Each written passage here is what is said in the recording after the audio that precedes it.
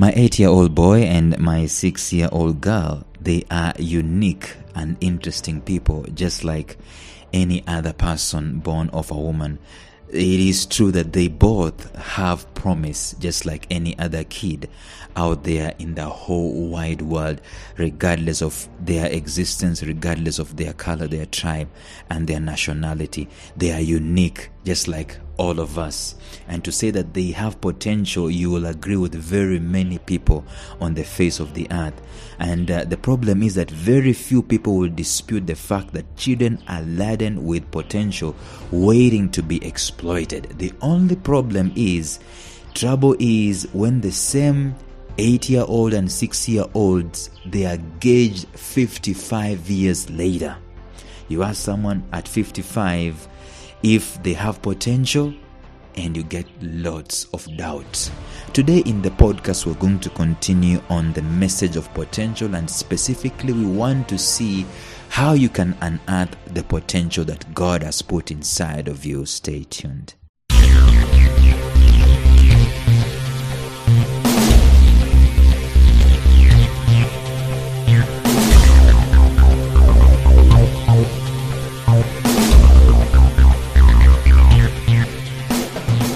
Welcome to the Life Signatures podcast with Lawrence Namale.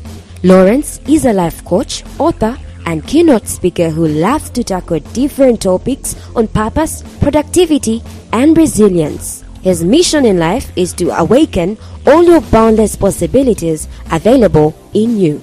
Life Signatures podcast is dedicated to bring to reality every single person who knows that deep down in their gut there's got to be more to life than this. And now, here is your host, Lawrence Namale.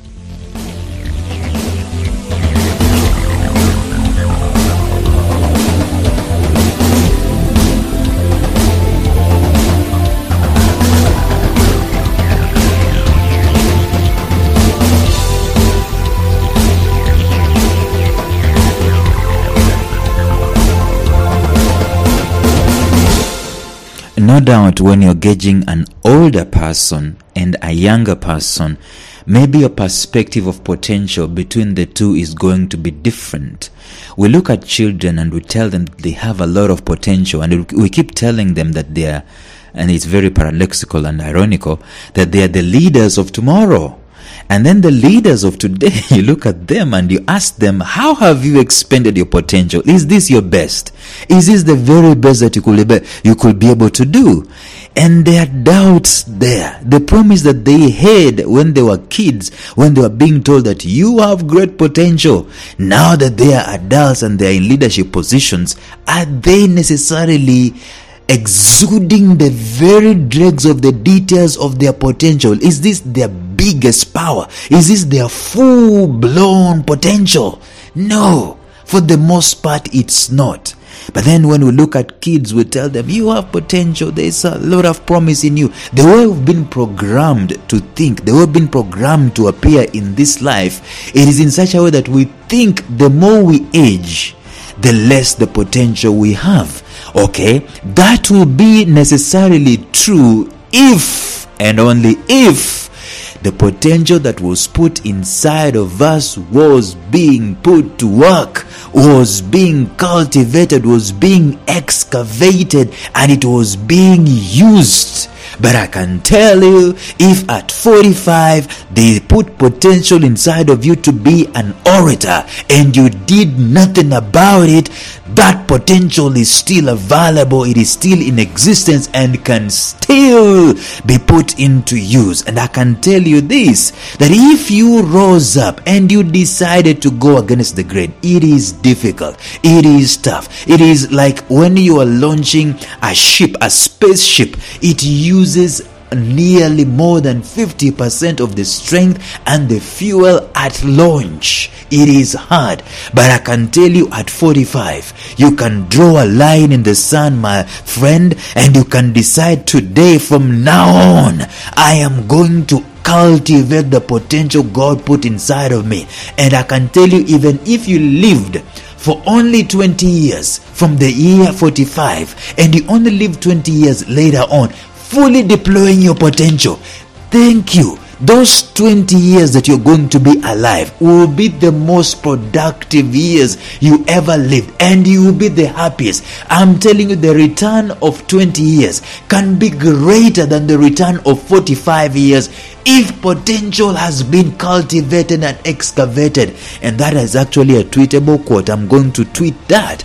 If at 45 years you decided to live the next few years fully deploying your potential, you will be the happiest human being on the face of the earth. And we are discussing how in the world can we excavate this potential? How in the world can we go out there and focus on the potential that was put inside of us? Because I believe if you wanted to make the human useless, valueless, inconsequential, redundant, if you wanted to kill the human, this is what you do. You remove from them potential. Oh, I'm telling you, it is a sorry thing. It is it is a sickening thing to see a human being who doesn't have potential. And by the way, technically, there is no human being who doesn't have potential. The sickening thing you will see is a human being filled with potential. Like every time you see a mad person on the streets, what goes on into your mind? This is a human being with serious potential, and it's being wasted away for one reason or another. And you see someone who could be able to do great stuff but they have stooped low to do just the ordinary, like we discussed in the previous episode, just to do the ordinary so that they can put food on the table. Look, I am not looking down on people who are doing all that they can be, so that they can put food on the table and clothes on their back and that they can be able to pay rent. But I'm saying, ladies and gentlemen, above that, we can go against the grain and we can stick up like a sore thumb and we can break through the walls of opposition and we can expand the potential that God put inside of us. We can break the barrier. This world needs answers, and some of the answers that this world is going to get, it is going to come from men and women who are going to come alive, who are going to break the cycle, who are going to break against the opposition, against the wall that uh, binds them to a culture of doing things for the sake of doing things. See, we've got to come to the level of wanting to go against the grain and unearth our potential. So you tell your three year old, four year old that they're filled with potential. But trouble is when the same three year old is gauged. Huh?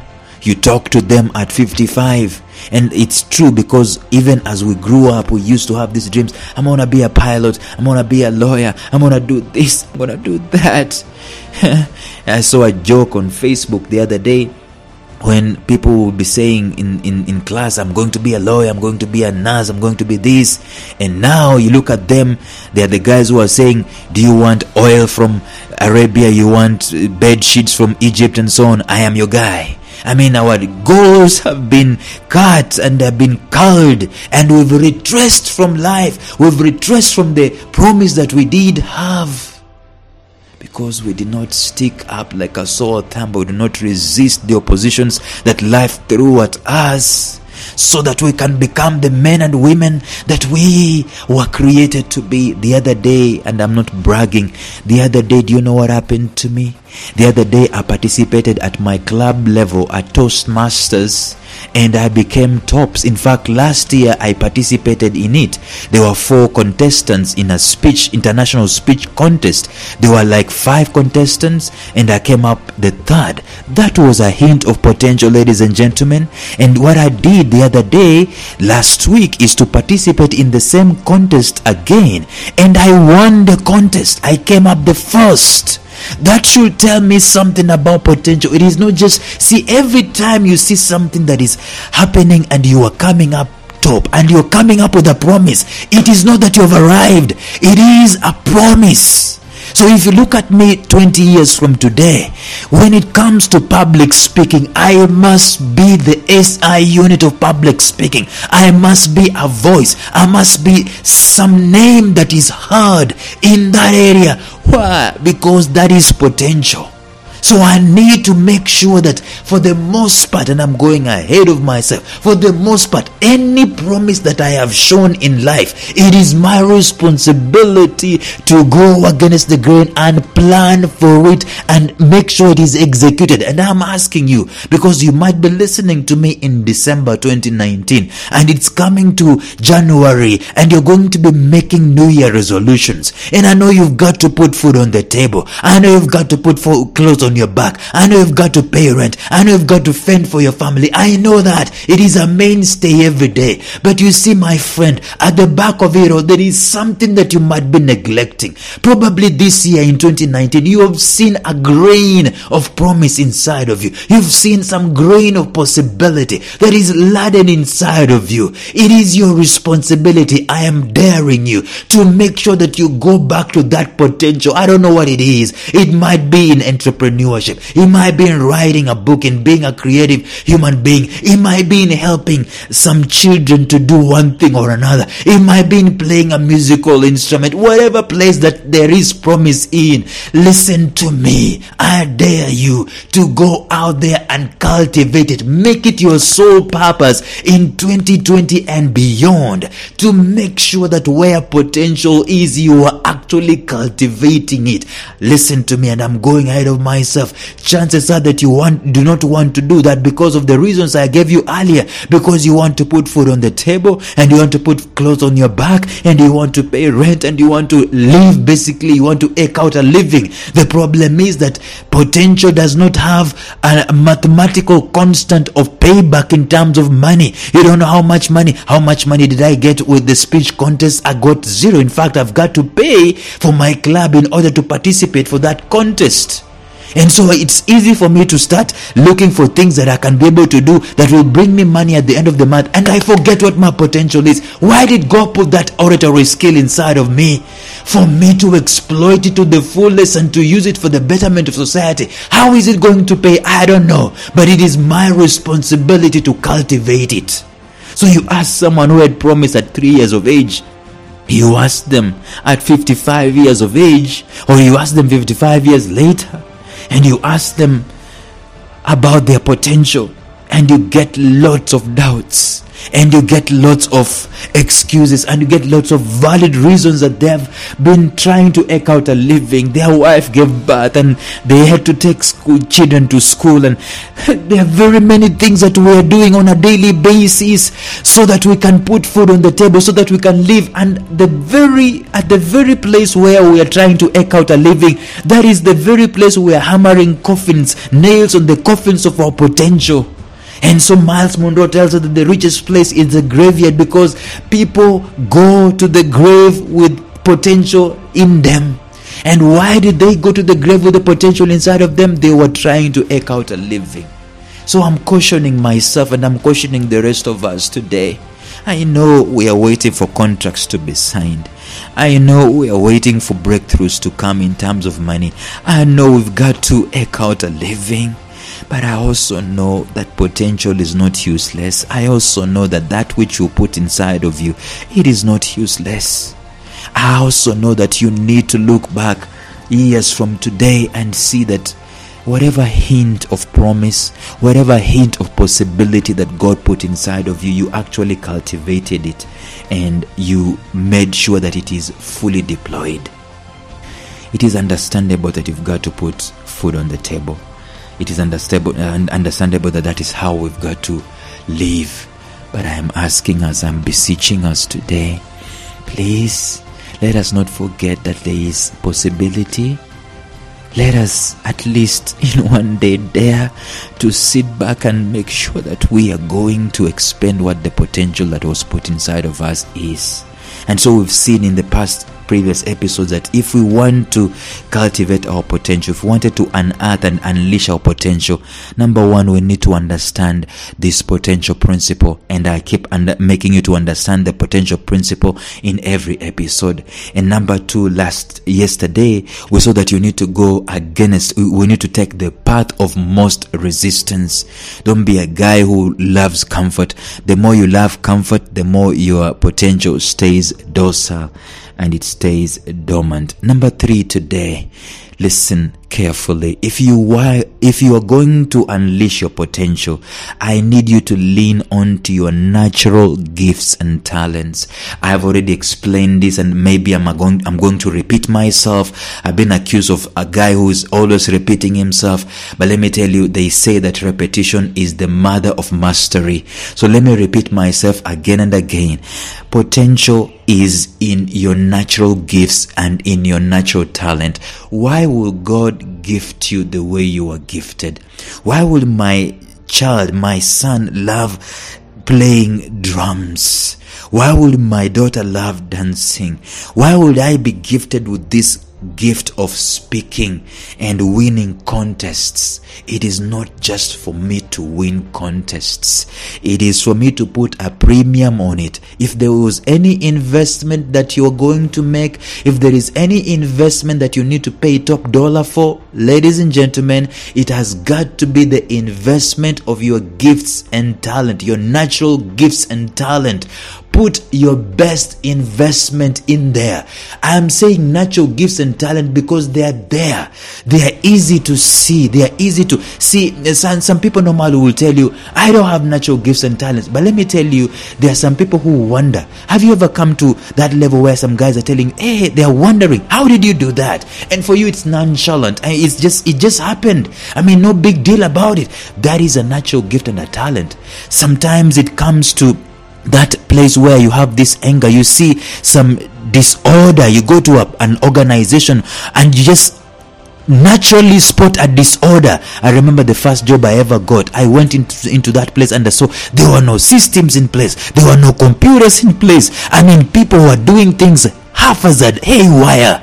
And it pained me that was potential speaking to me that Lawrence, you can do that. That was a leadership potential that was rising up. Don't tell me you do not have potential. Things that people compliment you the most of, there are fields of potential in there. You understand what I'm saying? So I am telling you that find out what it is and put your greatest top notch investment in it, and you will not be disappointed with it. When I was in primary school, my natural gift and talent was in writing.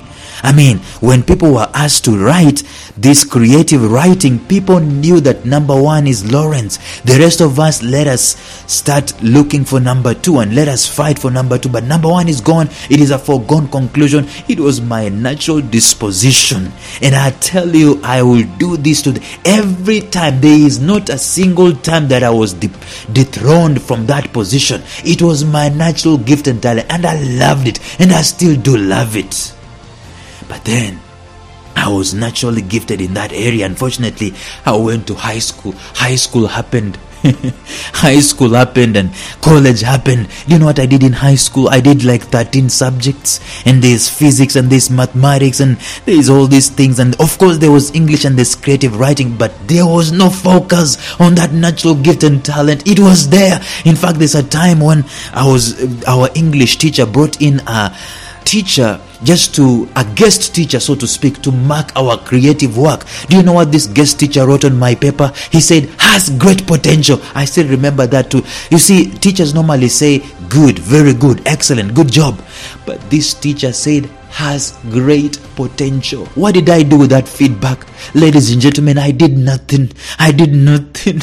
You know what I was looking for? I was looking for to become a lawyer. I was looking, I was going through the grain, the rut, the continuous system of the day, the tradition of the day. I only picked up writing years after school, maybe 10 or 20 years after school. Question what is there to show of my pursuits in education? Not so much.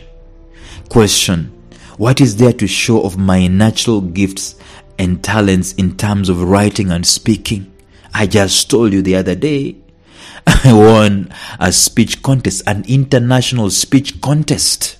I participated in it and won. I have books upon books I have written.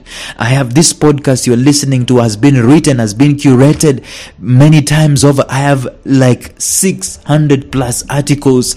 I have helped very many people in writing their own books. That is my potential.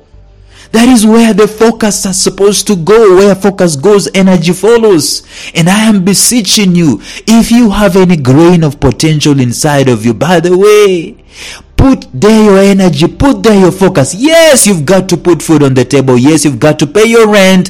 Yes, you've got to take your children to school. But as much as possible, I am beseeching you, I am asking of you, do not kill the potential by laying it dormant. Invest in it in any way possible.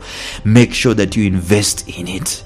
People do not pursue natural gifts and talent because of several reasons. Number one is because of culture we want to go to school and all of us want to become lawyers, engineers, and doctors. That is how culture is. It has always been that way. A large percentage of people marvel at raw talents that they see, but still, due to cultural norms, they pursue a certain preset order of things in life. This is because the route of talent pursuit seemingly does not guarantee any money at the end of the month. The way people pay get paid is at the end of the month you work in a clerical job. You work in a white collar, blue collar, whatever it is, and then you earn some wages. At the end of the day, you earn some salary at the end of the day. But if you pursue public speaking, nobody knows how that pays. But I can tell you this a speech that Les Brown delivers is worth $30,000. I had I read somewhere that Zig Ziglar gave a speech, one speech less than two hours, and he got $30,000 for it. I'm not saying that we should be looking for dollars from that angle. I'm saying that we should expend our potential against the grain of culture and make this world a better place and let the world pay us for our efforts for it. The second reason as to why we don't pursue our natural gifts and talents, will you believe it, is because of the education systems. A friend of mine says that the word education comes from the word ed- educare, which means to draw out, to draw out of. But instead of drawing out, education system pours in.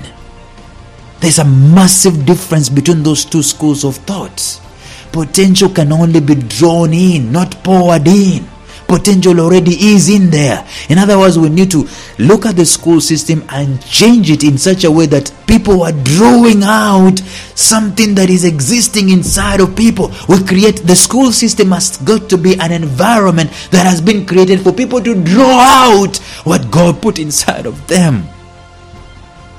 Those who fail the examinations, they are expelled from the school system, they are discarded they are labeled as failures and useless. They are not necessarily told so directly, but that is the inference. And let me tell you something about our lives. We believe inferences more than we believe reality. The reality on the ground is that you've been divorced. The inference is that you're not a good person, you'll never amount to anything, and you believe the inference more than you believe the reality. And that's what school does. Our present education systems are based on mass production of people. It is not individual based. It's not, it's a yardstick for different people with different abilities, talents, and dispositions. The same examination being given to them as a yardstick. Anyway, the third reason as to why we do not necessarily follow our gifts and talents is because of focus. Still, the education system, if you wanted to find out the next steps of the people who have graduated from an education system, ask them what next. They will tell you they want to get a job. You know why? It is because a job provides a seemingly guaranteed security at the end of the month and at the end of the week how you're going to be paid. Guarantees the key word. We are looking for guarantees here. Risk is the key word with potential, as we saw in the previous uh, episode. And it's a sad fact that we don't focus. Just the same thing with me. I did not focus on my potential as a writer.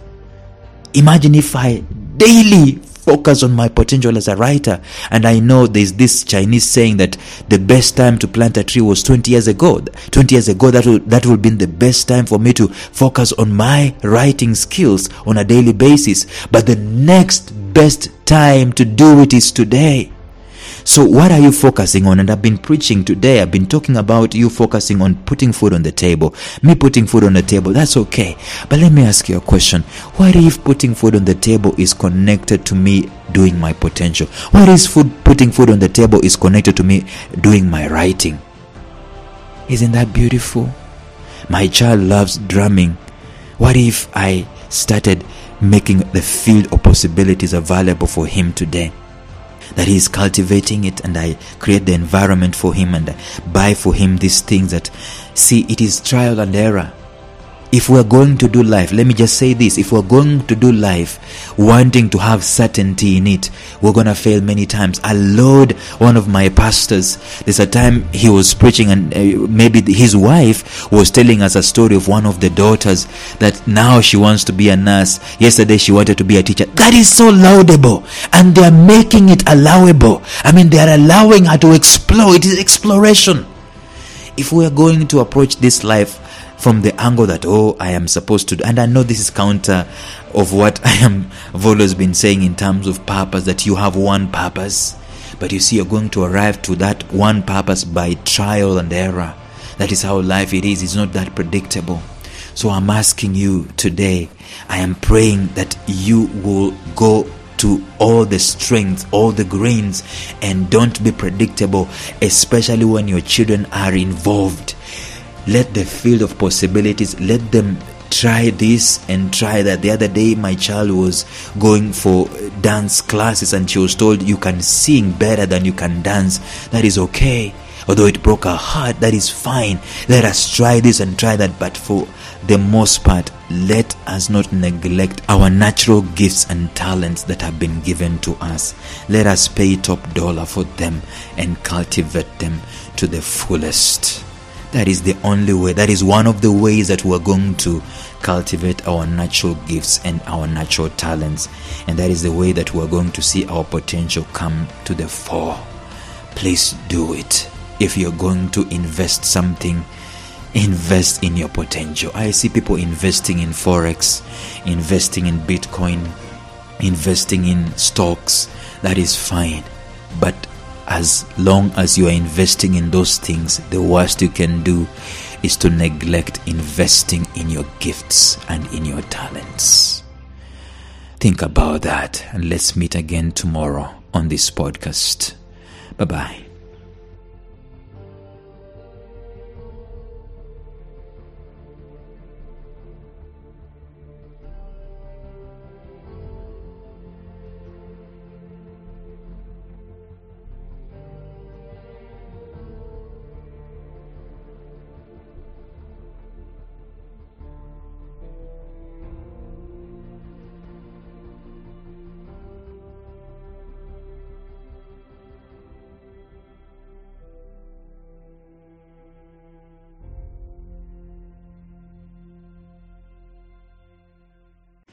A special shout out to my mentor, Jeffrey Howard of Visionary Business University, found at mastermindmentor.com, who has graciously provided me with the soundtrack and the introductory track to this podcast. Thank you, Jeff.